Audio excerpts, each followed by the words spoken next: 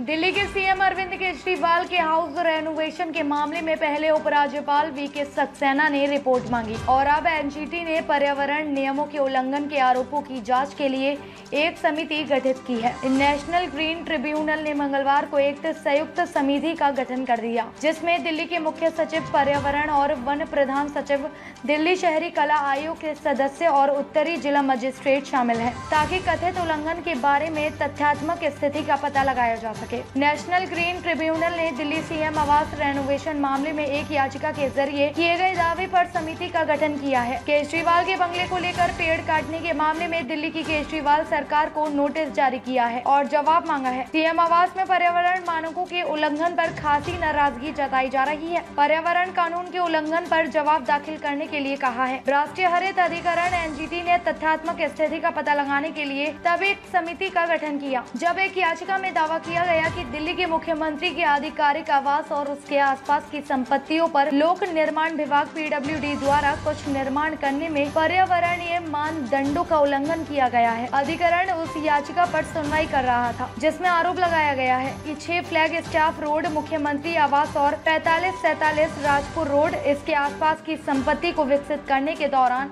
स्थायी एवं अर्ध स्थायी निर्माण किए गए और 20 से अधिक पेड़ काट दिए गए। अधिकरण के अध्यक्ष न्यायमूर्ति ए के गोयल की पीठ ने कहा, दिल्ली के भीड़ भाड़ वाले और प्रदूषित शहर में निर्माण के लिए पेड़ों को काटने और हरित पट्टी प्रदान करने की शर्त के अनुपालन की आवश्यकता के महत्व को देखते हुए हम एक संयुक्त समिति का गठन करके तथ्यात्मक स्थिति का पता लगाना आवश्यक समझते हैं। पीठ में न्यायिक सदस्य, न्यायमूर्ति सुधीर अग्रवाल और विशेषज्ञ सदस्य ए. सैंथिल वेल भी शामिल थे। पीठ ने दिल्ली के मुख्य सचिव और प्रधान सचिव पर्यावरण और वन के साथ ही दिल्ली शहरी कला आयोग डी के एक नामित व्यक्ति और दिल्ली के उत्तरी जिला मजिस्ट्रेट वाली एक समिति का गठन किया। पीठ ने कहा, समिति की बैठक एक सप्ताह के भीतर आहूत की जा सकती है और रिपोर्ट तीन सप्ताह के भीतर प्रस्तुत की जा सकती है। समिति किसी अन्य विभाग या प्राधिकरण के साथ बातचीत करने और स्थल पर जाने के लिए स्वतंत्र होगी और यह ऑनलाइन या ऑफलाइन बैठक कर सकती है। एनजीटी ने कहा कि उल्लंघन के मामले में समिति कानून के अनुसार वैधानिक अधिकारियों के समन्वय में सुधारात्मक कार्यवाही कर सकती है। एनजीटी ने कहा कि उल्लंघन के मामले में समिति कानून कार्यवाही करेगी। इस मामले को इकतीस मई तक के लिए टाल दिया गया है। याचिका में दावा किया गया है कि यह निर्माण पूरी तरह से अवैध है। बिना डीयूएसी की मंजूरी से काम किया गया है। साल 2009 में दिल्ली सरकार के आदेश में कहा गया है कि 10 से 20 से अधिक पेड़ों की कटाई की अनुमति मांगने वाले सभी आवेदनों पर कार्यवाही होनी चाहिए और फॉरेस्ट कंजर्वेटर को रिपोर्ट देनी चाहिए।